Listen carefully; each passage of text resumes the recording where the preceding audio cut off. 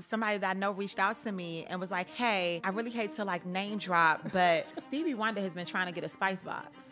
And I said, no, what? Man, he ain't gotta wait for no box. What do you mean? Like Stevie Wonder can get a box today. Yeah. We can overnight his box. You are the only one in your immediate family who has never been incarcerated. And at some points in my life, my mother, my father, and my brothers were all incarcerated at the same time. So it was just me. From a girl who was doing payday loans and taking jeans back to Nordstrom, you have been able to create something really something quite magical. You've generated multi-million dollars worth of revenue for businesses, black businesses in the DC area. We have a non-compete model. So if you are applying to sell your shea butter today and somebody else is already selling shea butter, we don't let you sell it because the goal is for everybody to get money. The goal is not to put you in a space to compete with somebody else that looks like you. We do Yeah. that enough. You know, you go to these events and there's a vendor marketplace set yeah. up and you see all the products. It almost tricks you into thinking that this is all we know how to do. Because you look around and it's like, dang, all we know how to do is make candles and shea butter. But when you experience the spice suite and you see our list of vendors and it's like, oh no, we do everything. What do you feel is missing in the space of entrepreneurship with black businesses?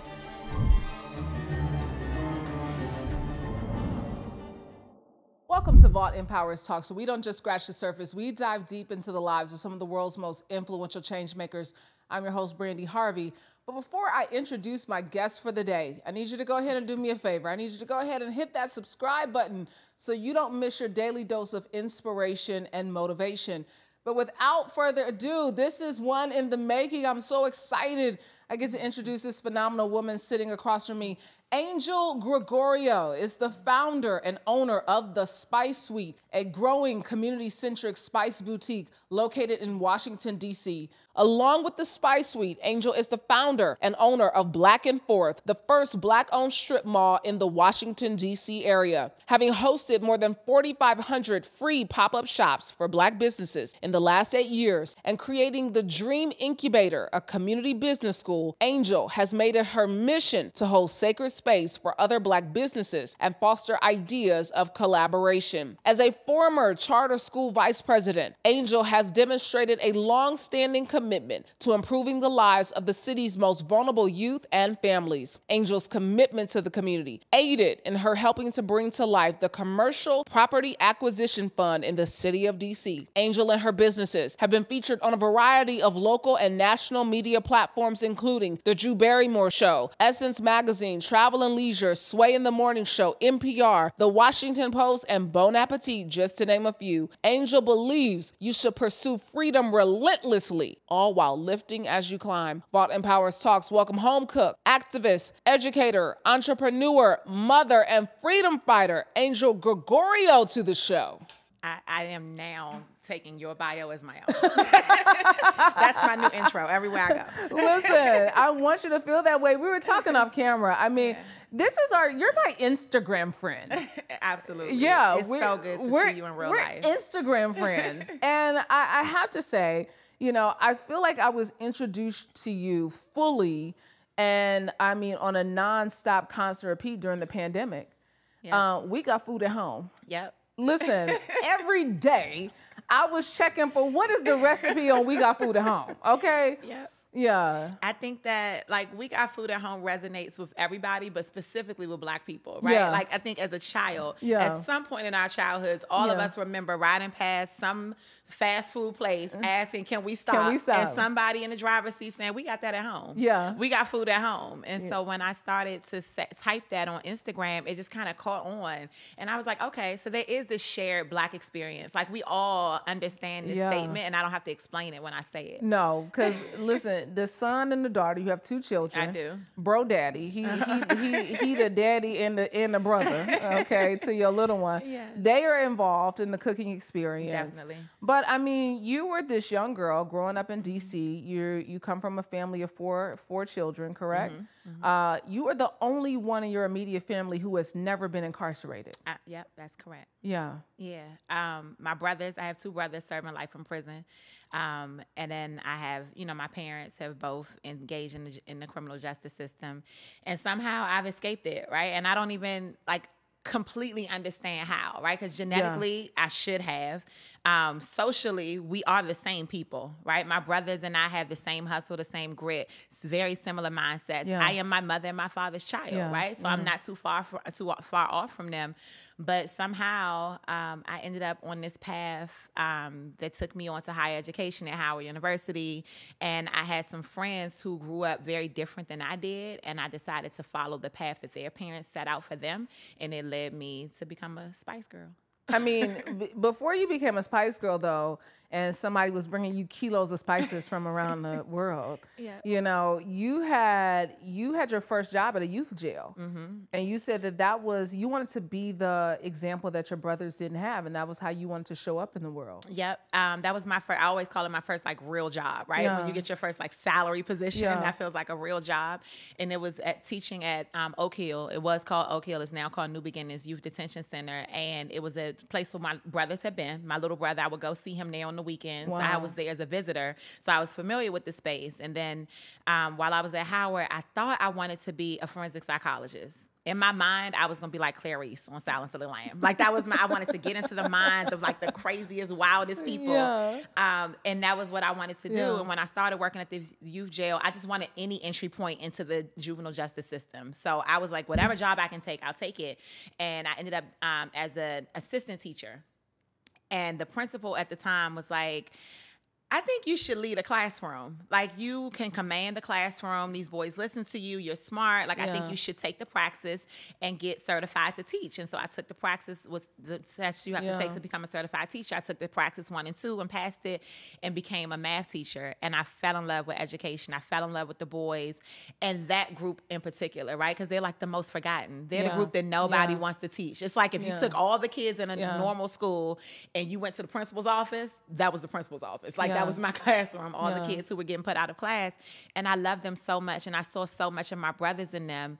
And I always thought every day I would go into work, it was like I have to show up as the person that I wish my brothers were able to see when they were in this system. Yeah.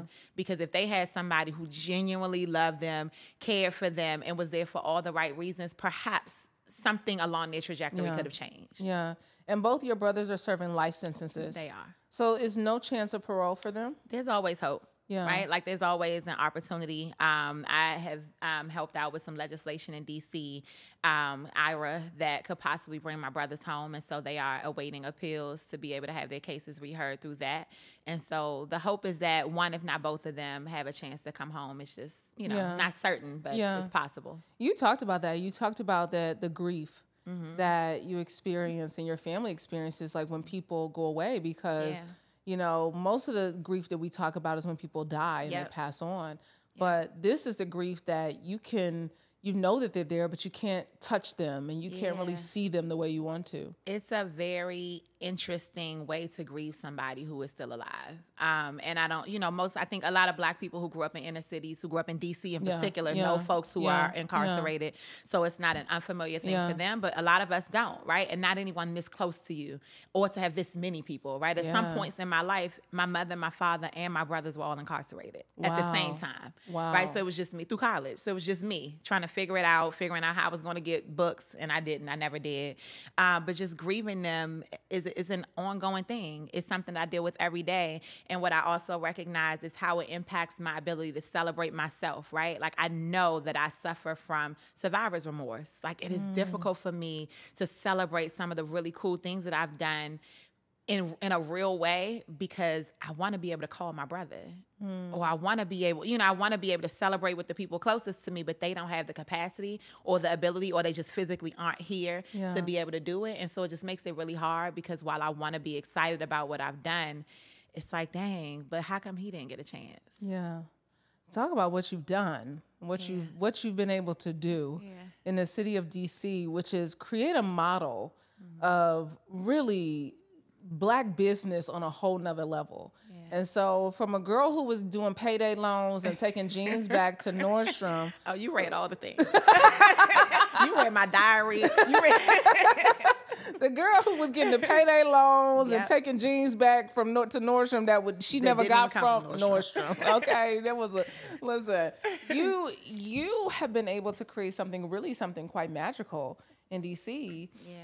with I mean from your own business of creating this this space in a auto body shop mm-hmm. with this empty parking lot mm-hmm. and transforming it into the Spice Suite, which is now really an incubator for multiple, multiple Black businesses. Yeah, it is. Um, I think just sometimes I shock myself at my ability to see things and see them through right? Like I think a lot of us have a, we see things, we we have visions, and we close our eyes and we dream, but we don't always see it through for yeah. a myriad of reasons, right? But when I saw, I told, um, I remember telling um, Councilmember Kenyan McDuffie, who um, introduced the commercial property acquisition fund that you mentioned in my intro. I remember telling him that I wanted to buy a commercial space. My, my landlord in my old space, it wasn't working out. I was like, you know what, I need to get out of here. I want to find a space, but I want to buy something if I'm going to move so we put that in motion. And then I called my friend um, who was a residential real estate agent. And I was like, you need to help me find a space. And she's like, but I don't do commercial. And I was like, well, just take me to look at some places, right? Yeah. And so I saw this, I saw maybe three other places. And then I saw the old auto body shop that I ended up purchasing it. And the day that I saw it, I remember she and her broker, we walked into the space together. And this place had experienced a fire. Like it yeah. was dilapidated. It was gross. It was, there was nothing pretty about it. And I'll never remember, I'll never never forget Bruce saying like, I don't know how you gonna pretty this up. Like, yeah. like this is just it's a mess. But I literally walked in and I was like, oh my gosh, I'm gonna take all the walls down. I'm gonna paint the whole thing black. I'm gonna do this and that, and I'm gonna have the shells and I want them to float. Like I knew exactly what I wanted the space to look like the moment I walked into it because I was able to see it. And then my friend was like, okay, so like what's next? And I was like, well, you have to help me get the space. And she's like, but I'm not a commercial agent. And I was like, well, if anybody's going to get this commission on a seven figure deal, it's going to be my homegirl. So you better so figure it out. Was this the $1.3 million space? This yeah. is $1.3 million. Yeah. So I was like, you got to figure it out. You had good credit. I did. I did, and the pandemic was good to us. Um, yeah. I mean, as you know, you know, as you know from finding out about us through the pandemic, yeah. um, you know, at a time where people weren't necessarily like Uber Eats felt sketchy. Yeah. People weren't really going out to eat. Everybody was cooking at home, and so our business really took off. And so I reinvested that revenue from the pandemic to be able to buy the space. And so I, of course, financed the space, but I was able to do the construction um, in addition to a loan, a grant that I got from DC government. I financed my entire construction with revenue from the store. Yeah. So about 1.1 million was my own money, and then another million from DC government and a wow. grant. Wow. I wanted people to talk about the store because this spice suite was yeah. not just oh I, I just want to get into spices mm-hmm. your friend was traveling mm-hmm. brought you kilos this kilos see some of y'all gonna get out here and get confused but she had kilos of spices mm-hmm that were given to you. Yeah. And you started playing around with them. I did. So when I like I never had an idea a vision to do a spice shop. Like that wasn't the vision that I had. I just randomly decided to call the landlord and embark on this space because it was affordable in yeah. my mind. I don't even know what affordable was because yeah. I didn't have any, you know, any barometer for that. But I decided to open this spice shop and I was like, okay, like I think I can do this. And I started, of course, posting about it on Facebook, yeah. on Instagram. And there was this guy, Boat, that I met. He was a comedian. I met him in the grocery store and he wasn't trying to holler or nothing. We just like connected. He yeah. needed help finding, like picking out something in the grocery store. And you know, Facebook is creepy. You see somebody in the grocery store and all of a sudden they're like a person you might know, right? I'm like, yeah, because I just saw him five minutes ago. So he pops up as a person I might know. Yeah. We end up becoming Facebook friends. We have mutual friends. So yeah. it just made it less creepy, right? And so as I was posting about opening this spice shop, he hit me and he was like, yo, you know, like you helped me out in Safeway one day. Um, I'm about to be over in Kuwait if there's um, anything I could do, I'd love to send you some spices. And I was like, oh, cool. Like, that'd be nice. I didn't know what he was yeah. going to send, had no, I, no expectation. And when the package arrived, it was so fragrant. I was like, oh my God. Before I even opened it, I literally remember sitting in the old shop in this window seat thinking, like, wherever he got this from, this is what I have to do. I have to go somewhere else to get my spices. Yeah. Like this is how I'm going to do it. And so I set out to start traveling the world for spices, and now I've been to about 40 countries um, for spices and spice inspiration. I mean, first of all, y'all don't even know. Like I'm, I'm uh, why I know I'm a believer is because I got the spices. Me and Carly was like we would be stalking your page when you would drop the boxes. So she started dropping these boxes during COVID and you had the syrups, the infused mm-hmm. syrups, the I mean, we was trying to get everything because she's shaking it on the recipe. You like, oh, that looks so good. I don't even eat salmon, but baby, I'm gonna give me some salmon. Listen, it was so. I mean, the pandemic. It was such a crazy time with the boxes. Yeah. I remember. I remember when you and I when we connected um, over you guys trying to get boxes, and it was a similar thing with um, somebody that I know reached out to me and was like, "Hey, I really hate to like name drop, but um, Stevie Wonder has been trying to get a spice box." And I said, now what? Now he ain't got to wait for no box. What do you mean? Like Stevie Wonder can get a box today. Yeah. We can overnight his yeah, box. Yeah. You, I mean, I was just like, what do you mean? Like, how are the people like this aware yeah. of what I'm doing here in DC? Like, I knew I was making impact in my city, but to know that people well beyond DC were learning about me was just like super overwhelming for me. Oh, still is. Yeah. It still is. I mean, we wanted to know what the kids was eating that day. we wanted to know what was for Sunday brunch. We was tapped in. Yeah, everybody. I mean, you know, what kind of syrup, what jalapeno chili something syrup she got today. It yeah. was so it's it's been so much fun being able to introduce people to like fun flavors and the fact that people know that while I take my business seriously, I still play with my food. Yeah. I yeah. still have fun with my food and people trust me enough to take this journey with me and have fun with their food too. And play I always tell people to like play in your closet in your kitchen. And yeah. people have been doing that with me. And it shocks me because I'm like, I don't have a culinary background. I've never yeah. I don't have the credentials that says, you know, I know what I'm talking about. But people trust me and believe me and the proof is in the product. Oh yeah, absolutely. I mean, from biscuit mixes, pancakes and waffle mixes, mm-hmm. infused syrups, you know, mixed spice blends is, you know, ketchups, mm-hmm. you know, all kind of sauces. I think, you know, you have found a lane and you have really owned it. Yeah. You know, but in you owning your own lane, you said, let me take some folks with me on yeah, this journey. Absolutely. And so one day your child had a hockey match, uh-huh. a hockey game, uh-huh. and you said, well, can you stay in here and run the store for uh-huh. me? And that really gave you the black and forth market. Yeah so i um i mean that's exactly it. I was at the old location and at the point when I first started, it was just me, of course, right? I couldn't afford staff. I could barely afford the spices. So I definitely couldn't afford the staff to be able to staff the place. So my hours, it was so weird because I was still an assistant principal for the first like two months that I opened the space. So my store hours were literally only on the weekends mm. because I was busy all week. And that's not sustainable for a retail space yeah. to only be open on the weekends. Then I finally quit my job. And then my store hours were only after school. Yeah. Be, I mean, during school because yeah. I had to pick my kids up, my son up at that time after school. So it was so weird. I kept changing things and trying to figure it out. And then eventually, I figured out something that worked for me. Um, one day, I was sitting in there and I would host these pop up shops. I would post on Instagram that if there's any black business owner that has a product that's handmade or uniquely sourced, you can come in here and bring your product and sell it no charge, no fine yeah. print. You just bring your product. And so I had a, a lot of people interested in that. They would come by, and then there was this one girl, Nikki, um, she came and she popped up and she had a good time. Her products, I think, like sold out or something. And she was like, "Oh my gosh, I had such a great time. Do you mind if I come back again?" And I was like, "Yeah, come back."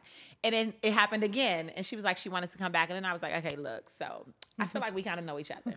You've been in here with me. I trust you. Yeah. I feel like you yeah. know, can you run my register for yeah. me and allow me to like step away and go to my son's hockey game while you run the shop for me?" And she's like, "Oh my god, of course. Like I would love to do that. I don't. It's chill in here. It's easy." You know, it's a small shop. Yeah. And so I was like, okay, cool. And after being away for a day and finally experiencing like freedom, freedom, while in entrepreneurship, like that wasn't something I'd experienced yet. I was like, I need more of this. Yeah. This is when I was like on this relentless pursuit of freedom.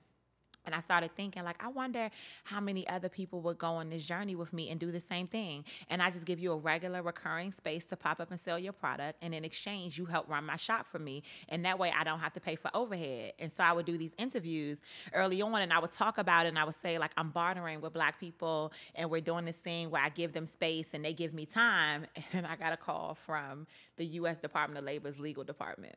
Yeah. And the guy on the other end was like, hey, so I heard that you are doing this barter. And I was like, yep. And he was like, so we don't see any um, anything between you and the IRS that communicates that you are bartering. And I said, well, that's because I lied. Because if the IRS is involved, then I clearly lied because I don't need out whatever they need. I don't want. I'm good. I was like, I don't want it. I, I made a mistake. April Fools. What, what, how do we fix this? he was like, he was like, no, no, no. I'm not trying to catch you up. I'm not trying to. I'm not trying to trip you up. Like, just tell me what you're doing. Explain to me what you're doing, and let me figure help you figure out the path forward. And so I explained to him my business model and what I was doing. And he was like, Young lady, I have been doing this a very long time. I have never heard of this model that you're doing where you're not charging people at all. There's no contract. There's, you know, it doesn't Yeah. fit any, I think he said four or five different legal employment types that we define as the government.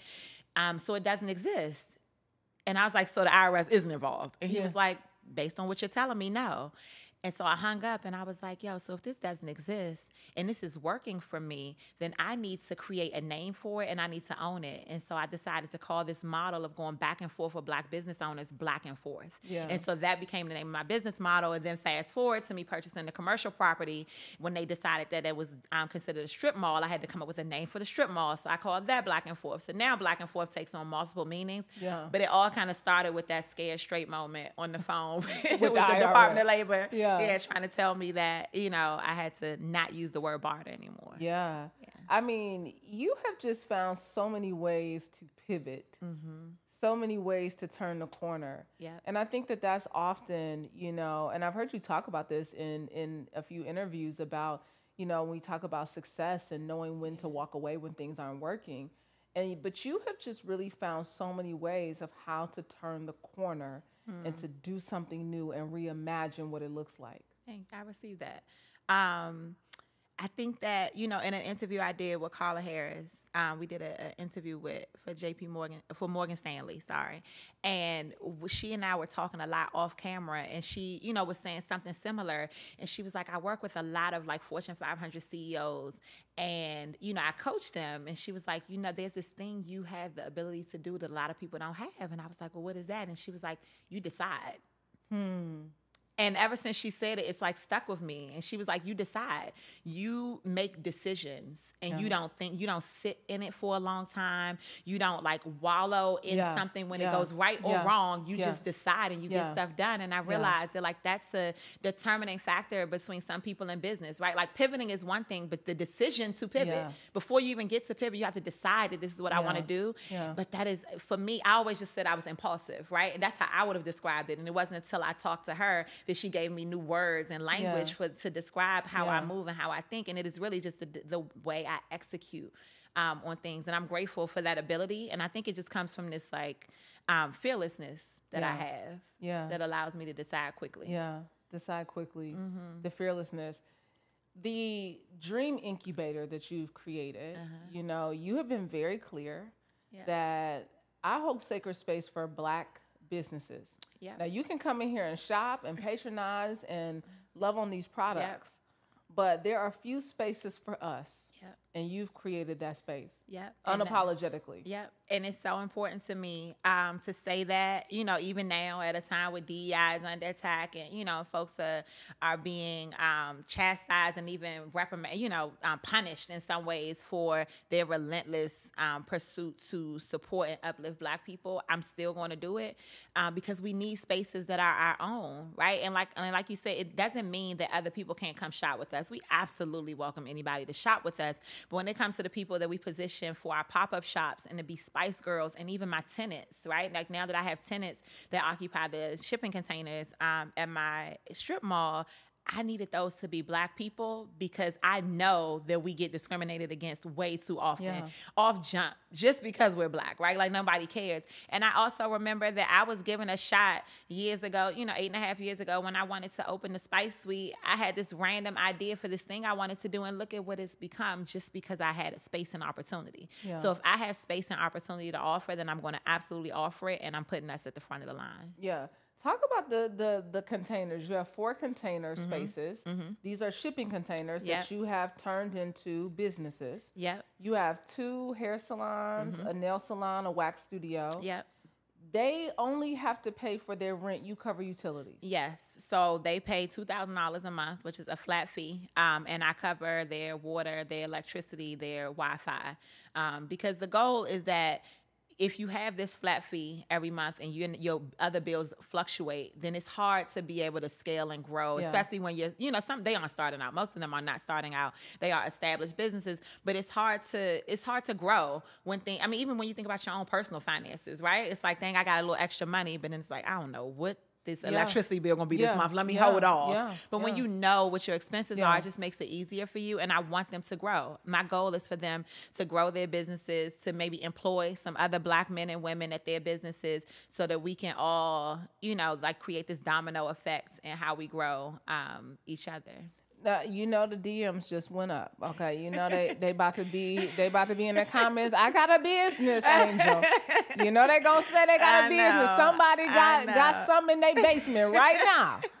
But you have an application process for the people who come through to do pop ups. Yeah. And you are vetting seriously, of course, tenants who come into the space. Definitely. So the tenants are absolutely seriously vetted um, because we want, you know, we want folks who are also going to be there, right? Like we can't, we don't want folks who are not serious about their You business. just started last week. Don't don't DM her. Stay no, out her inbox. wait. Yeah, wait, wait a little while.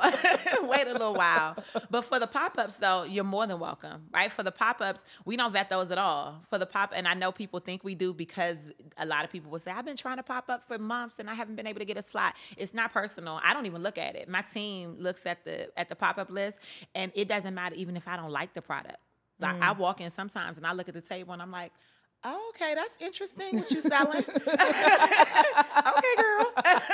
right? I, I, it's not for me, but you have an audience, right? So it's Yeah. never personal. So Yeah. I never want people to think that like, Yeah. oh, she didn't choose me because she doesn't like my, you know, whatever. And that's totally not the case. We allow anybody to pop up. It really is like a matchmaking thing, and whether we have a non-compete model. So if you are applying to sell your shea butter today, and somebody else, or maybe a Spice Girl is already selling shea butter, we don't let you sell it, and we do that with everything, even our farmers market, because the goal is for everybody to get money. The goal is not to put you in a space to compete with somebody else that looks like you. We do Yeah. that enough. So in the Spice Suite, if you sell shea butter and candles and earrings, and somebody else is selling shea butter, then homegirl, leave the shea butter at home, bring your candles and earrings, and pull up. Yeah. Like let's figure this thing Yeah. out so that we can all, Yeah. you know, grow together. I love that. When I heard that, I was like, that is so perfect because how often are we in? There's so many uh, black markets that have started to pop up, especially in different cities. Yeah. Of course, you had a village market here in Atlanta with Dr. Key, who Key. you know, Love who her. you know.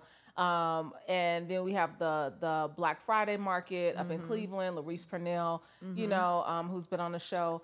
All of these places, I feel like don't have that. Yep. And I think that is such a a, a, a, major factor in Yeah. the success of those businesses because you go to places and it's a whole line of body oils, it's a whole line of Yeah. uh, uh, candles, it's a whole line of you know a certain food product. Yep. You know. And you know what's interesting about that? I feel like when we walk into these spaces, you know, you go to these events even, and there's a vendor marketplace set yeah. up, um, and you see all the products. It almost tricks you into thinking that this is all we know how to do. Cause you look around and it's like, dang, all we know how to do is make candles and shea butter. But when you experience the Spice Suite and you see our list of vendors, and it's like, oh no, we do everything. Yeah. Like we've had people pop up that do literally everything. Yeah. Right. And even amongst the Spice Girls, they don't compete with each other. So we have 25 Spice Girls who don't compete. So that's 25 different businesses, and they all have varying products. So I feel like we and it pushes people, right? Because Yeah. sometimes they'll see that and they'll say like, okay, you know what? Let me go back to the drawing board because I do notice that there are uh, Yes. 20 other people selling this. What else can I create? Because I know that there's something. And the goal is to find a gap in the market and fill that, like fill that space with something new and innovative and creative and not try to do more of what's already been done. Yeah, that is the part right there because you do. I mean, you we're here in Atlanta, and I swear you go to these places and everybody got shea butter. Everybody. everybody got a body butter. Everybody got a hair oil. Yep. Yep. You know, yeah, with little rose petals in Yeah, it. everybody got the same thing. I got Yeah. some grow your locks. I know you do, girl. I know you do. Yeah. It- it- but that's the part. We do so much more. Yes. You know, we have paper mills, we have stationery, Absolutely. we have we have technology pieces. Yeah. We have so many things Yeah. That we aren't really show, showcasing that. Yeah. I mean, and black people do everything. Like we are the center of creation and innovation, but I feel like sometimes we are also um we also try to take what's easy, right? Like we try to take the easy route, and it's easier to replicate than it is to innovate. And so sometimes we do that. Um, and it's just it's uh, it's unfortunate. It's unfor- even like with the farmers market, right? Like farmers markets are the same way. Yeah. You go to farmers markets and everybody has peaches, everybody has oranges. You just decide which one you want to get it from, Yeah, right? Who yeah. claims to have the freshest, sweeter ones? But at our farmers market, all the vendors are black, and we tell them the same thing. You have to submit your list a week in advance so that we know what you're bringing, so that we can decide decide who's going to bring tomatoes this week Yeah. because we don't need all your tomatoes. And if it's a different variety of tomatoes, then pull up. But please don't think that we're about to have you at a market with a bunch of the same things. So we also don't need a whole lot of vendors. We don't need 25 vendors just to make it look like it's a big market. Like our property is small. You come to our Black and Forth Farmers Market and there's 12 vendors, but we have everything that the other markets have. We just don't have the competition. Yeah, I love that. Talk about the pull up, the pull up method, uh-huh. because you started doing these classes in your living room Uh-huh. that were really people who you knew who were successful in their field, be it marketing or branding or whatever it was. And Yep. they were leading these classes in your living room, which is now, you know, become this whole dream incubator Yep. of classes that are with wait lists and standing room only. Yeah. So um, with the Spice Girls, you know, as a former educator, I was always trying to teach and learn, right? And I and I didn't know what I was doing in Yeah, business, so I really kind of had no choice Yeah. but to learn some Yeah, things, or this yeah, was gonna fail. And so when I started out, I was like, you know what? I need to learn how to do bookkeeping, marketing, social media. Like I didn't know how to do any of these things well, but I knew some dope people who did. And so I told the Spice Girls we would start doing these monthly meetups at my house, and it was an opportunity for us to all get together because they pop up on different days. Yeah. So we were all a part of this group, but they all didn't know each other because they sometimes would never see each other until they got to my house. And so I would bring them to my house. I would cook. We would have wine, um, and then I would just invite a friend or someone who's an expert in some subject area to come and put a PowerPoint up on my TV, and we would learn together. And that was just our way of breaking bread together, of holding space for each other, and building community. And every time I would post a photo afterward, just to kind of thank the person Yeah, who came in, yeah. I would post a photo on Instagram. Um, there would be people in the comments on my DMs like, "Oh my God, I want to come," and I'm like, "Read the room. this is my house. like I don't even know you. Like you can't come in my house." Yeah. And so you know, but I also knew while I would say that jokingly, at the core of that was somebody saying, "I also want to learn." Yeah. Right. Like me too. Like teach me. Yeah. And so me understanding that when I was able to acquire the new space at Black and Forth, it was this much bigger space. And one of the very first things that I did, I think within a couple of weeks of opening, was decide to host what I call community business school. And so I took it from my house, where we used to just call it a Spice Girl meetup, and started calling it community business school, which is the premise that I believe we have enough genius in our community to grow our community. And so I call on that genius to come into my Spice Suite now, once a, or twice a month now, and they teach these classes, um, and we can all grow together, and they're free, and they'll always be free. I'll never charge Wow. people to come to class, um, and these classes are taught by folks at DC government. We've had folks from Mastercard teach classes. We've had my friends from Howard, my friends from all over. Like people will come. I've had friends who are in town for the weekend, and they're like, "Girl, you know what? I got an hour and a half I can spare on Thursday. Yeah. I'll come and teach a class." Yeah. and they will come and teach these classes. And we had a certain number of spaces because I only have a certain number of chairs that we can fit into the space. And some classes would fill up, and people would be like, "Hey, the class is full. If there's is there a wait list?" And I'm like, you know what? There's no need for a wait list. If you really want to learn, then you'll stand. And so I would tell people, Hmm. if you want to come, just DM me, pull up, and we'll respond and say, pull up. And so that was like, that's the only thing we say yeah. to each other is, I want to pull up, and I'll say, pull up. And they will come to the class and they can just stand around. Some folks bring their children to class, like babies yeah, to class, yeah. and we just learn together. And I come to the classes too because I'm still learning. Yeah. And we learn together. this is i mean this is what i love so much and why i'm so excited about you coming on the show because when we talk about building community we talk about you know group ep- economics we talk about mm-hmm. you know how do we rally and pool our dollars and pool uh-huh. our resources together and you are like you need to start exactly where you are Yep. do it where you are Yep. i mean you're like i'm gonna take whatever i have and i'm gonna do it right here Yep. And do it because you know it's the right thing to do. Right? Yeah. Like I'm not doing this out of protest. This wasn't in response to George Floyd. Yeah. We were doing this before that, right? Yeah. I wasn't buying I, I've been buying black before that. I've been supporting black before that. Exactly. Um, and because I know it's the right thing to do and because I know it's a necessary thing to do. Yeah. Uh, we can't grow our businesses if we don't learn. And not everybody can take time off to go back and go to actual business school at a university to learn the things that they need to know. And honestly, I feel like there's more genius in our community business school than there are in some of these more formal, um, you know, in these formal institutions.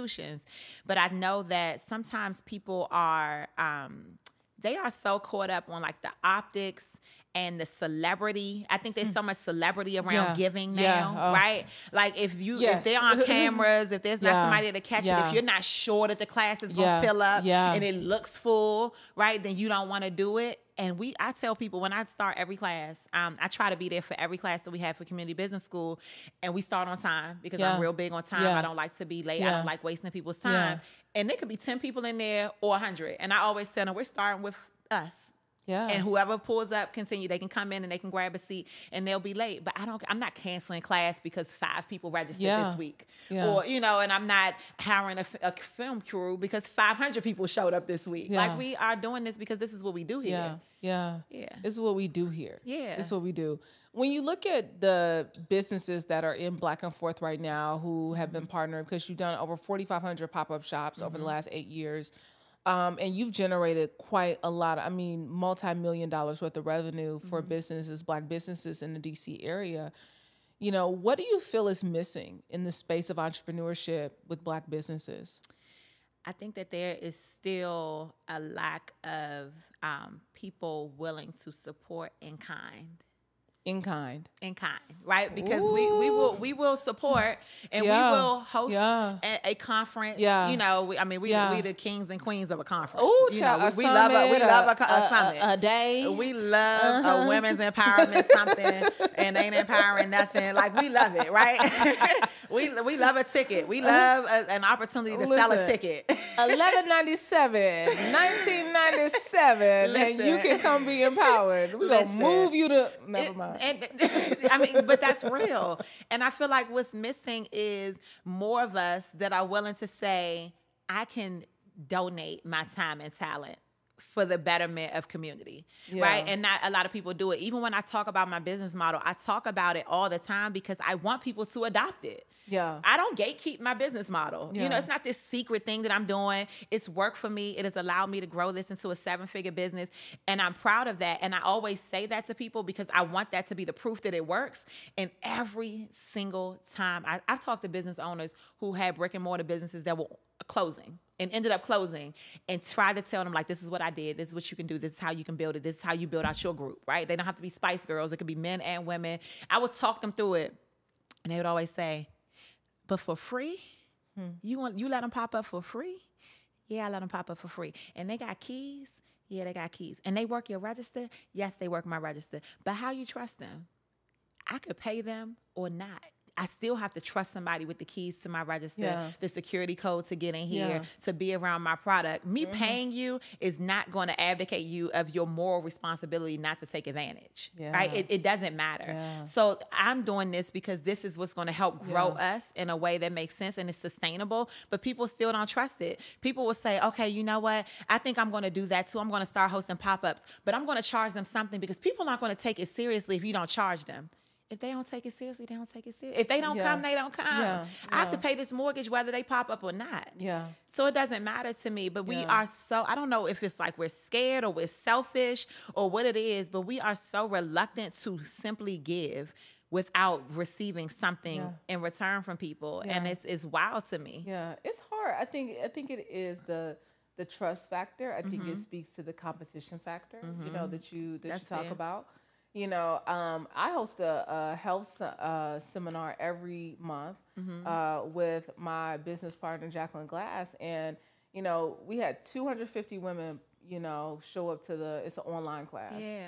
250 women and it does like for me it's like and i think that's that same that's why i feel like all these chills and this like bubbling up every time you're talking is because you understand that somebody is walking away with something that is going to impact their life Yep. somebody is walking away with something that they are going to see a vast difference in their life Yeah. because of this And that has to mean something to you for that to be enough.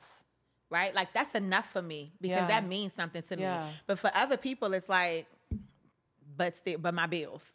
but Yeah. you know, but this mortgage. But but what about this? But for me, it's like knowing that I have a hand in allowing somebody else's dream that they didn't know they had Yeah. to come to fruition Yeah. just Yeah. because they got space and opportunity um, means the world to me.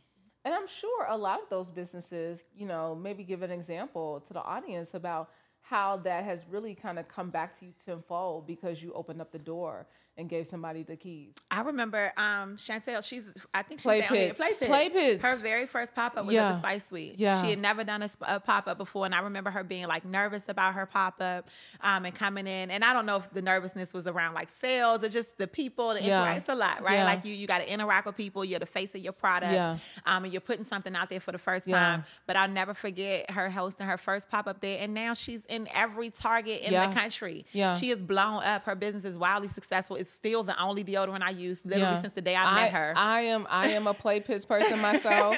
I love her. I run into her at all the events here in Atlanta. She's Yeah. amazing. And look at what she's been able to do, Yeah. right? And granted, her success wasn't because of the Spice Suite, but Yeah. just knowing that like we created space for people like her to be able to launch and grow their businesses, I, it always makes me smile Yeah. thinking about her. Uh, First of all, like her story is just absolutely Incredible. It, it Yeah. is. It's amazing, and to know that she got her start with you, you know. Mm-hmm. Yeah. I mean, you kind of like you know you the Harriet Tubman uh, uh, of the business world. You over here leading people to the promised land. Only the, only the ones that want to go, right? Yeah. The, the quote, right? Harriet could have Yeah. freed more if they only knew.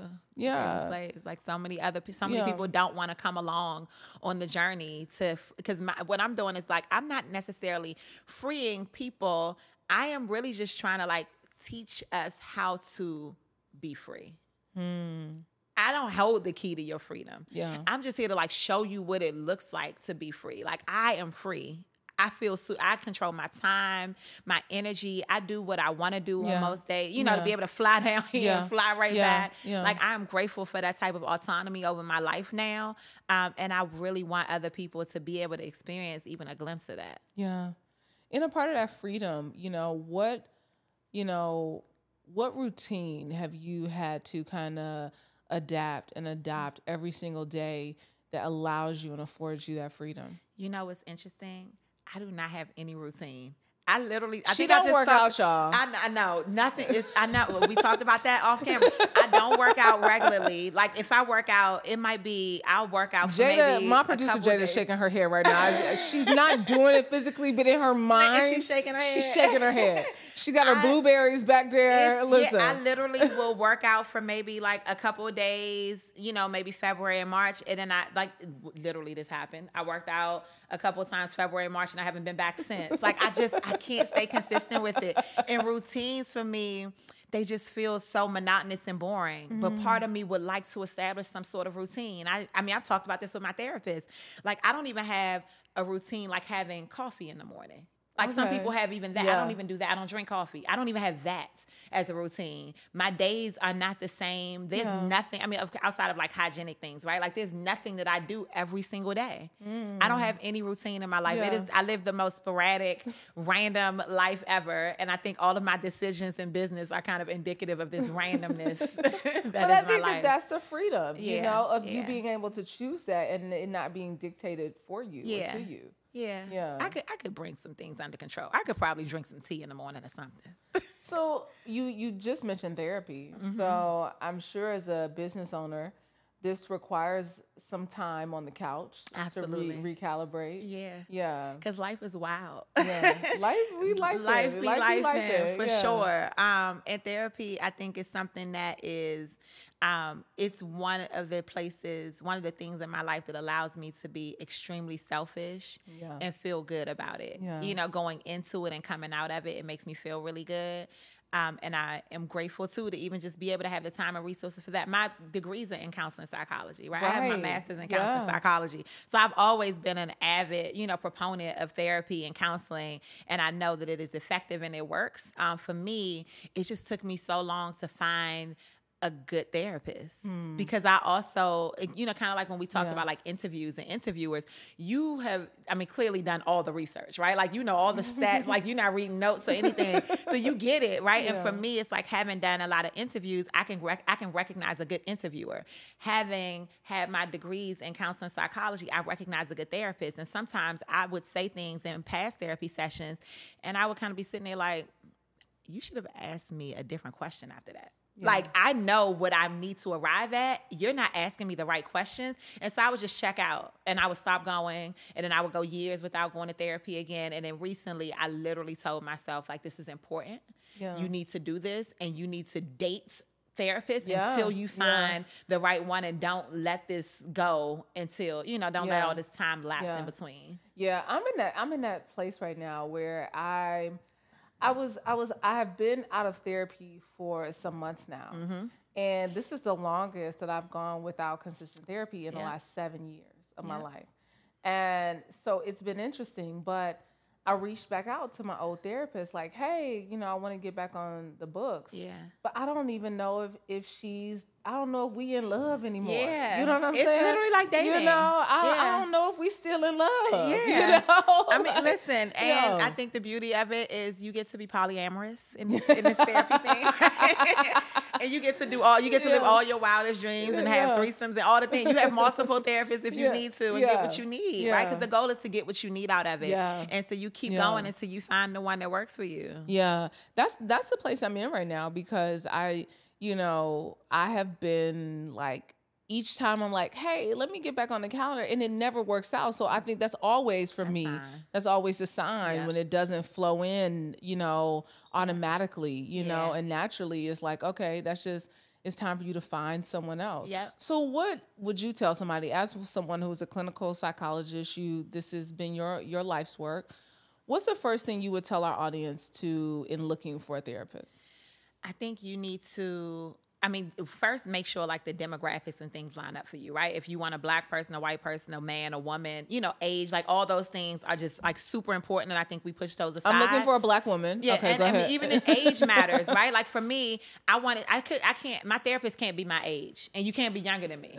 Like I, I can't because, baby, what are you talking about? Like I, I don't want to accidentally call you baby in therapy because I think you're a child, right? So it's like, like I need you to be old enough that I feel like I can respect your opinion, and not only do you have some like, um, you have some academic knowledge, but you have some life experience that is Yeah. coming in this session Yeah, that I can yeah. respect and honor, and so I think that's Yeah. important. But I think the one of the biggest things would be what we just said is to date them. You know, and that's in everything. Anytime you're making a big decision about a person that is going to serve some key role in your life. Yeah. I tell people this with acquiring commercial property.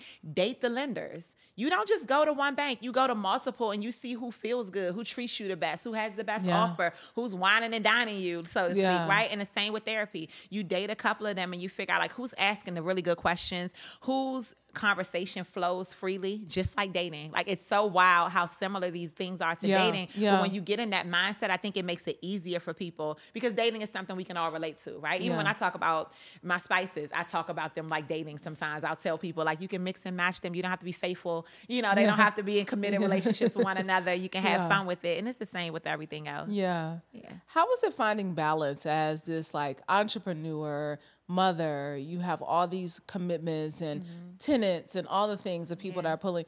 How do you find balance in your life?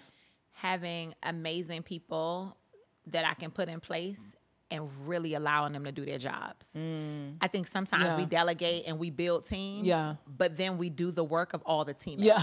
Yeah. Right? So it's like, what Yeah. good is it Yeah. to have, you know, four or five people on your team, but you're still doing their jobs, Yeah. right? My assistant responds to the emails. I'm not jumping in her inbox responding to the emails on her behalf. I let her do that. My operations team, they receive the shipments. I'm not showing up with a box cutter anymore on a day of shipments, opening boxes. Yeah. I'm like, hey, y'all, send me video so I can post it on Instagram. I don't need to be there, but you got to find people that you trust, and then you have the balance. And before you get to that place, right? Because I know, you know, eight and a half years ago when I first started, there was no team. Like Yeah. I was the team, but I still had to find balance. And that's when I say uh, what you spoke to earlier, which is that the thing you seek the most is what you will pursue the most relentlessly. And for me, it was freedom. And so I immediately started to put things in place for my business that allowed me to be the most free. So Yeah. that was creating my business model. So you just got to identify what your real priorities are. Yeah. And that is the thing that you got to put your energy into.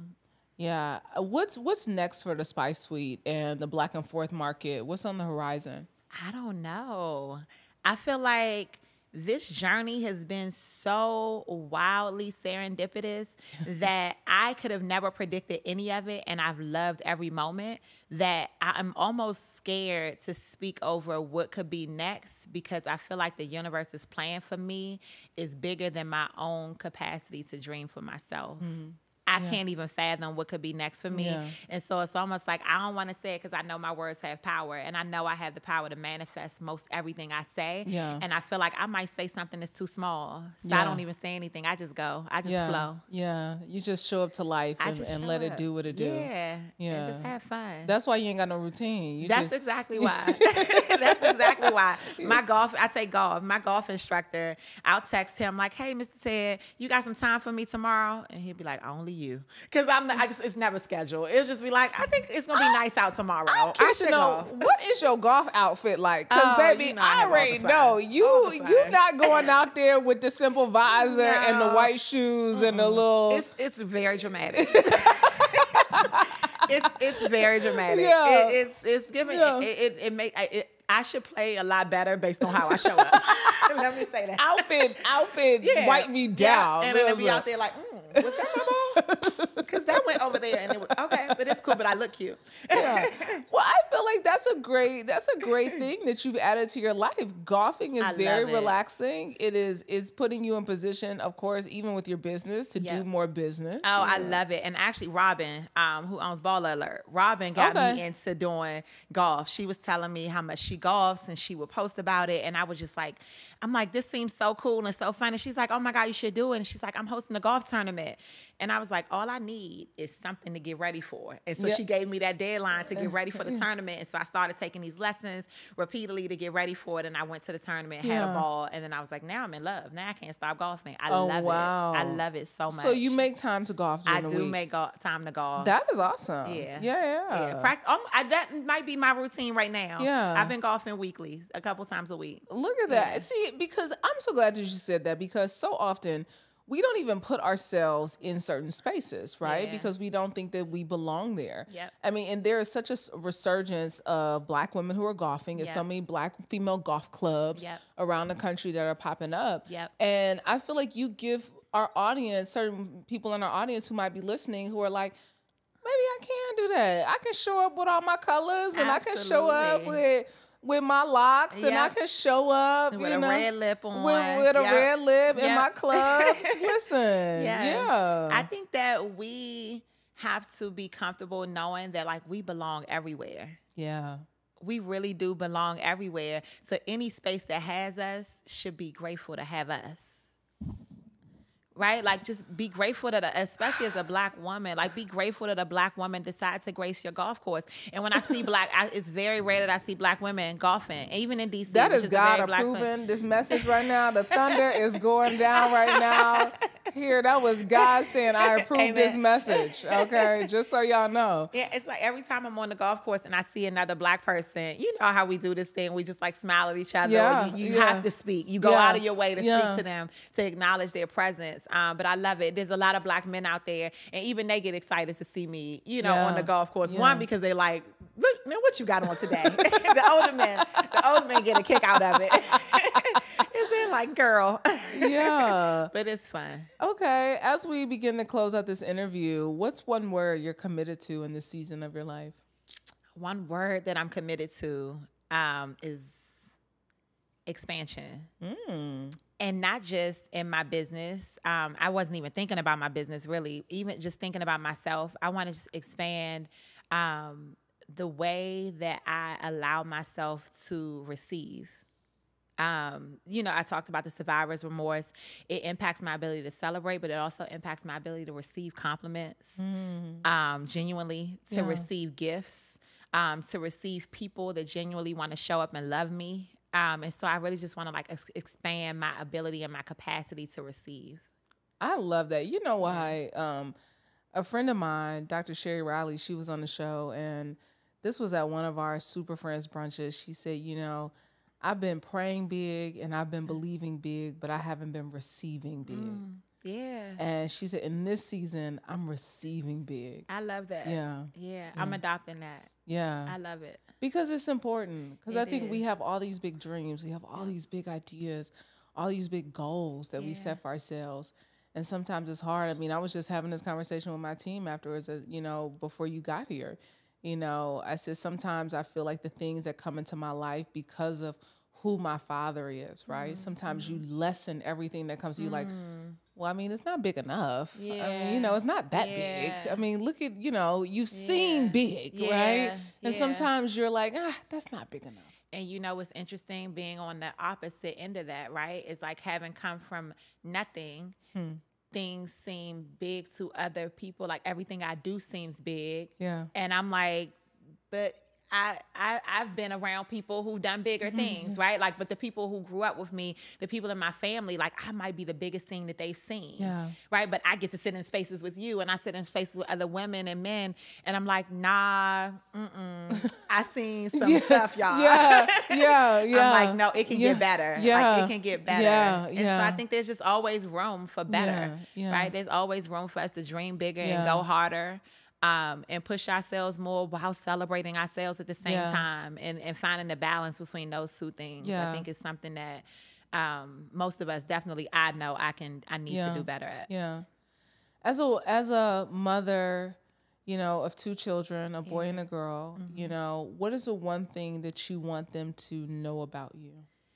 I want my kids to know that their mommy showed up as her full self everywhere she went. And I think that is so important because, you know, my, my kids are keenly aware of not keenly, right? But my my my son in particular, he's he's 13.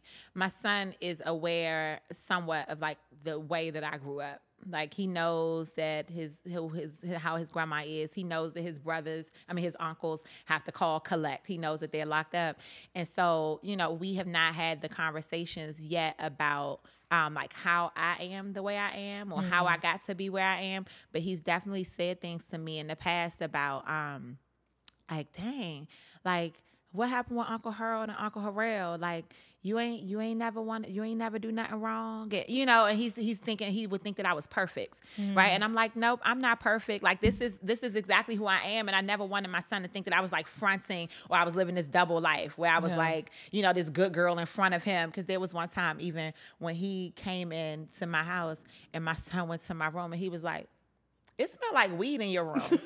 And I was like, but I don't smoke. He was like, but it smelled like weed in your room. I was like, but I don't smoke.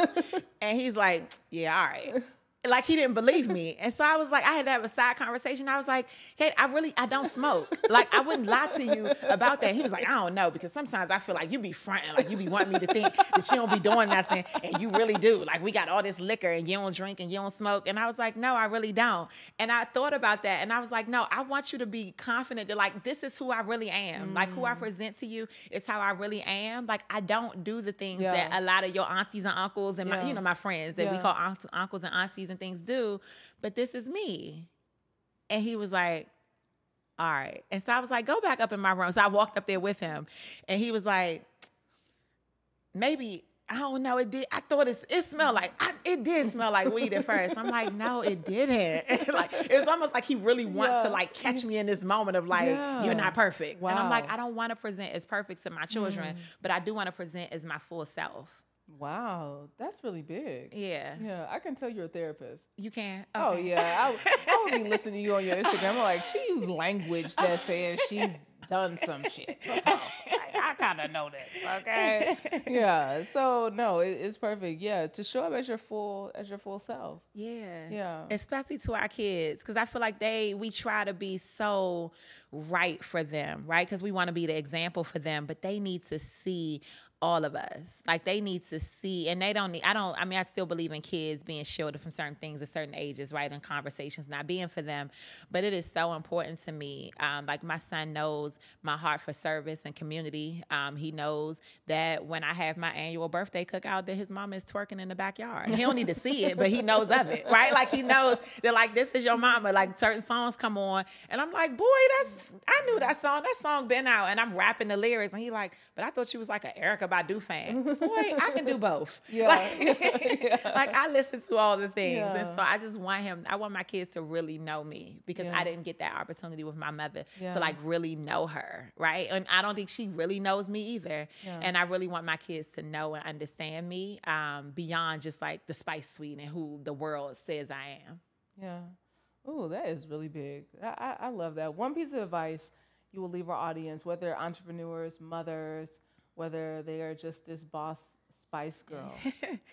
Uh, my advice has been consistent. Um, for the past eight and a half years, I leave the same two pieces of advice, which is start now, perfect later, um, so that we don't get in our own way. Because I think sometimes we are so busy trying to make things perfect that we don't realize that um, perfection is the illusion of progress. You're not really making progress while you're trying to make something perfect.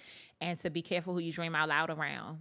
Mm. and I always have to say this to say that, like, I don't mean because I think people are haters, right? I don't even really subscribe to that. But I do believe that sometimes it's hard for people to see for you what they can't see for themselves. And so you're so busy, you know, dreaming out loud these like really lofty, amazing things that you want to do for yourself. And your homegirl, your friend, your mama, whoever is on the other end of that and they're questioning you and they're doubting you and you think that they're hating on you. And it's really a reflection of their inability to see something that big for themselves. So they don't they don't think that you can't do it. They just literally can't fathom it. Yeah. And so you just got to be careful who you say things around um, and at, at what time you say it, right? If you're not fully confident in yourself. Because if you're saying it with, and your confidence is shaky and the person on the receiving end is asking you questions, then you might be like, you know what? Never mind, you're right. Yeah. Versus like, I, it's cool. I know you don't understand, but I'm, I was just letting you know what I'm about to do. Yeah. Expansion, start now, perfect later. Yes. Be careful who you dream around. Yeah. Who you say it out loud to. Angel, it has been my pleasure. Oh, thank you so much. This is Instagram. This this somebody who they post to be. Okay. you know, some of y'all out there, y'all ain't who y'all post to be. And she actually shows up how she posts to be. Y'all, it's been my pleasure. Thank you, Angel, for joining me on another episode of Vault Empowers Talks. Be sure to share this with somebody who needs a little more expansion in their lives. Be sure to sure to like. Be sure to make and leave a comment. Y'all, I'm so excited for what God is about to do with this show. So thank y'all for joining me. I'm your host, Brandi Harvey. Until next time, eat well, give a damn, move your body every single day. Peace.